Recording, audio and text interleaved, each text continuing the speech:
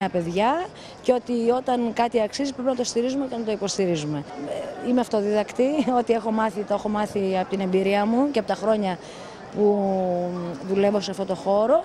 Ε, άρα δεν μπορώ να είμαι μια δασκάλα, αν μου στήσει όμως κάποια Ειδικά όμως. συμβουλή αν μου στήσει κάποιος μια συμβουλή και νομίζω ότι έχω την ικανότητα να το κάνω, θα το κάνω πολύ ευχαρίστως. Δεν θα θέλατε να συμμετάσχετε εσείς σαν, ε, ε, σαν ε, coach ή master σε ένα τέτοιο; Αυτό όχι.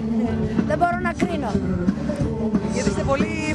Γιατί είστε πολύ, φαίνεται πολύ ευγενικοί. Ε, όχι, δεν θέλω να κρίνω τα νέα παιδιά.